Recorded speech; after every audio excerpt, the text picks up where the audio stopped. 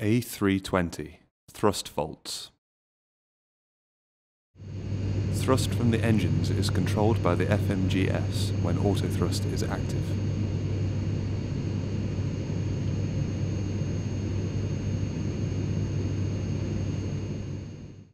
The FADEC has two channel redundancy, with one channel active and one in standby. If one channel fails, the other automatically takes control.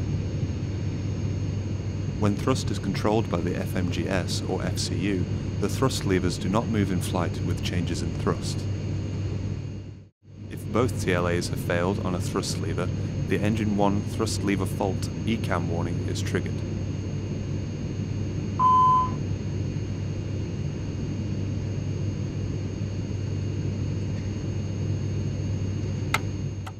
EPR mode fault.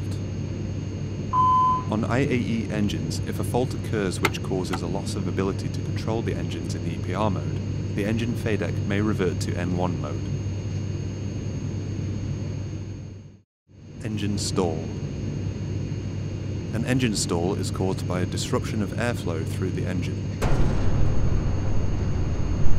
The stall may be indicated by a variety of abnormal engine occurrences, such as flame from the engine exhaust and, in severe cases, from the engine inlet.